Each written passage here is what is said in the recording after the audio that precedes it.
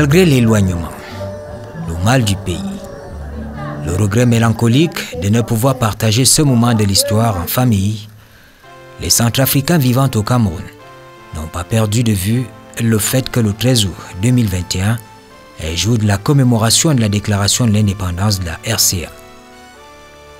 Pour une fois, dans un élan de solidarité agissante, ils se sont retrouvés à la résidence de l'ambassadeur au quartier Bastos pour les réjouissances sous diverses formes.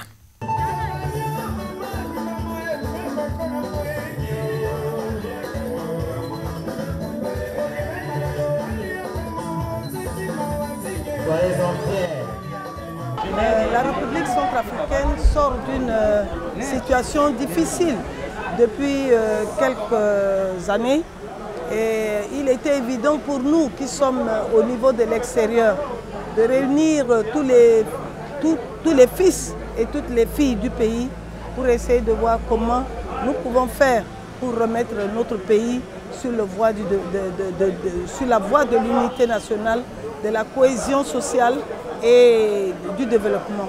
Voilà la raison pour laquelle nous avons placé hein, cette, cette célébration sous le signe de la cohésion sociale, de l'unité nationale et, et de la solidarité.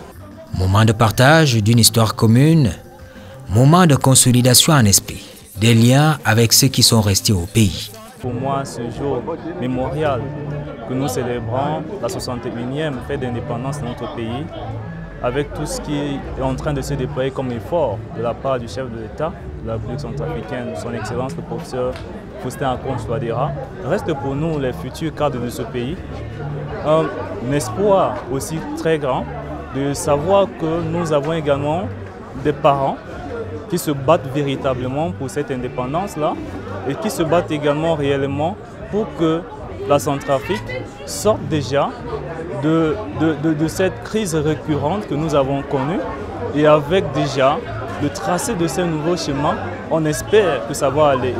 À dessein, on parle ici de la solidarité nationale et de la cohésion sociale.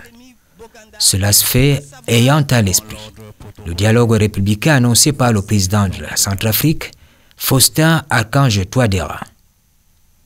Le décret présidentiel définissant okay. les profils des participants ainsi que les conditions de participation a été signé le 30 juin dernier. Chez l'État centrafricain, Faustin Archange Touadéra est dans les processus de la paix. Vous savez qu'il a pris le pays dans de très grandes difficultés. Il y a des consultations qui se passent régulièrement avec des opposants politiques, avec nous de la diaspora, de, par le monde. Et vous, avez, vous êtes sans ignorer que la plus grande diaspora centrafricaine, c'est celle qui se trouve au Cameroun, à plus de 70% de la diaspora centrafricaine mondiale. Donc, euh, en plus de cela, sur le plan économique, euh, tous les contacts qu'il y a, euh, le chef était en train de faire de très grands efforts dans ce sens. Et il y a un moment où les Centrafricains qui étaient ici en tant que réfugiés sont rentrés au pays volontairement. Ils ont été encadrés par le gouvernement. Donc je crois que ce processus est en train de prendre son envol. Ça nécessite encore beaucoup de, beaucoup de, de ramifications. Et ça, on compte toujours sur le Cameroun qui a été toujours présent dans tous les sens. On ne peut pas bâtir un pays tant qu'il n'y a pas l'unité, tant qu'il n'y a pas la sécurité et l'unité nationale entre les fils et les filles du pays.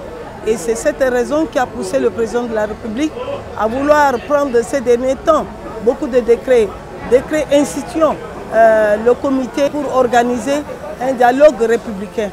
Et les membres de ce comité, les personnalités ont été nommés et je crois que le but recherché par le président de la République, c'est qu'on trouve une, une, solution pacifique entre fils et filles du pays afin de, de, ramener définitivement la paix dans notre cher et beau pays.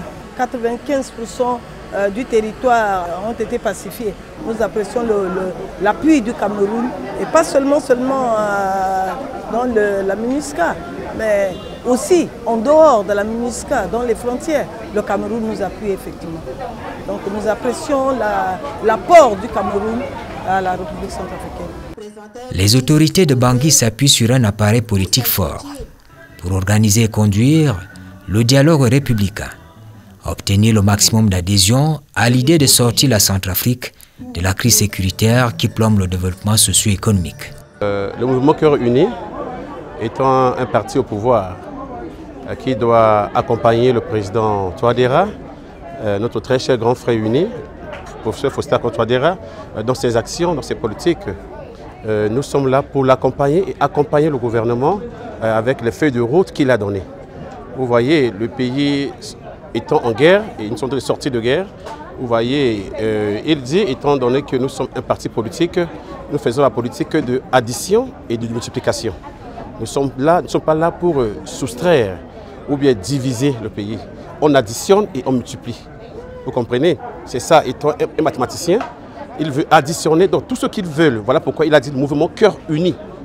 Hein, nous sommes là pour unir les Centrafricains qui ont tant souffert, qui veulent que le pays se développe. Voilà pourquoi le mouvement Cœur Uni est là pour accompagner le président Touadéra et son gouvernement euh, pour que ce pays sorte définitivement de ce que vous connaissez. Au Cameroun, euh, étant parti politique, euh, nous faisons des actions aussi sociales, vous comprenez. C'est une partie politique, c'est vrai. Au Cameroun, nous avons des cellules, des fédérations partout. Au Cameroun, à Yaoundé, à Bertois, à Garoua, à Douala, à Kribi. Et je profite une fois aussi de remercier beaucoup le ministre de l'Affaires territoriale qui nous a donné l'autorisation. Vous voyez, nous sommes un étranger et étant donné que nous sommes un parti politique étranger, nous avons le, papier, on a déposé une demande et le Cameroun a accepté de nous donner cette autorisation d'exercer sur le territoire camerounais tout en respectant les lois, les lois du Cameroun. Donc au Cameroun, nous sommes là partout, on exerce notre politique on soutient le gouvernement, on fait, aussi des, actions pour soutenir le, président au Cameroun.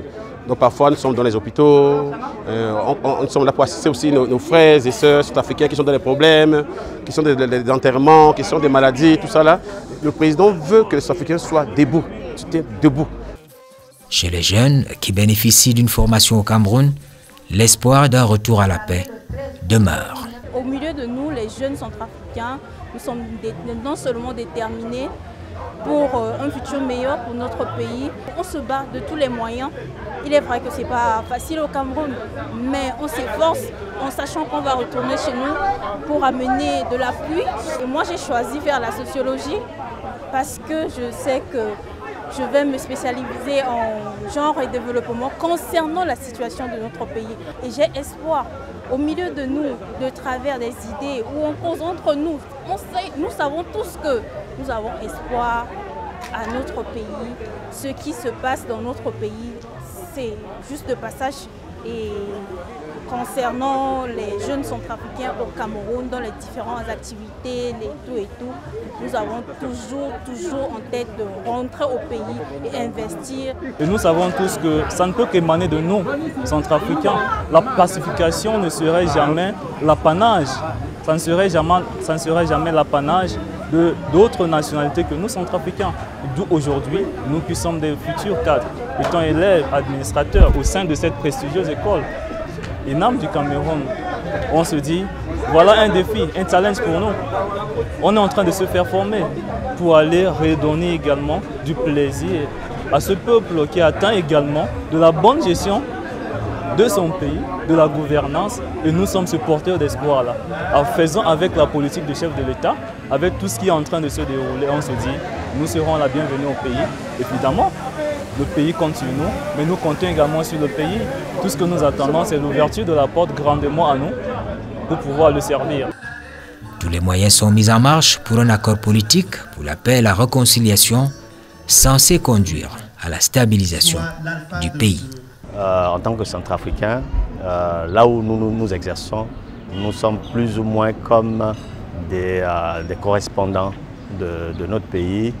nous pouvons plaider la cause de, notre pays auprès de nos différentes organisations pour voir comment prêter main forte aux efforts consentis par nos autorités au niveau du pays.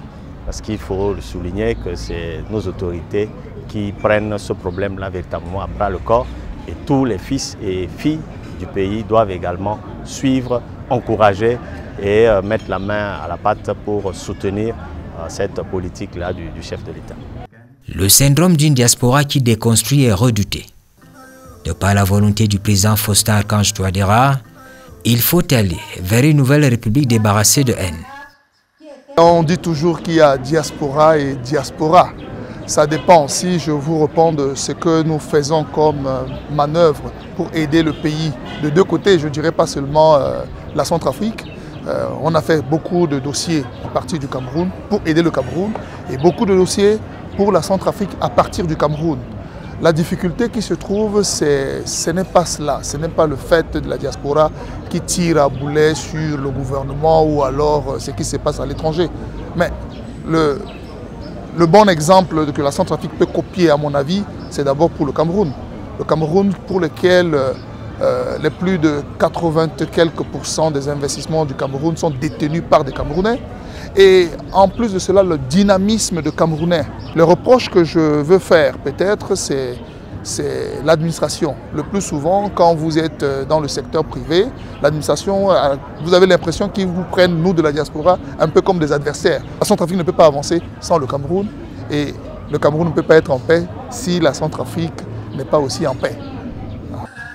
Autant qu'on l'a observé en 2019, au lendemain des négociations de Khartoum sous les auspices de l'Union africaine, des Nations unies, de la CEMAC, de la CAC, la Centrafrique peut compter sur les pays amis, comme le Cameroun, qui ont pris position en indiquant leur soutien aux initiatives de paix du président Touadéra. Je voudrais également vous dire combien notre pays et toute notre sous-région, malgré le contexte difficile de la Covid, le Cameroun salue la résilience de nos États pour tenir cette importante réunion. C'est nous également de nous féliciter à cet égard du chemin parcouru par les hautes autorités tchadiennes, avec notamment la mise sur pied d'un comité préparatoire dans la perspective du dialogue national. Et, Monsieur le Président, nous réjouissons aussi des consultations nationales initiées en RCA par le président Touadéra en prélude à l'organisation de la conférence sur la paix et le dialogue républicain en RCA. Aussi le Cameroun souhaite-t-il tant au peuple frère tchadien qu'au peuple frère centrafricain un franc succès l'issue des dix. Pour les autorités de Bangui, le rêve est permanent. Il faut créer les conditions d'un cadre où chaque citoyen retrouve réellement sa place et la joie de vivre.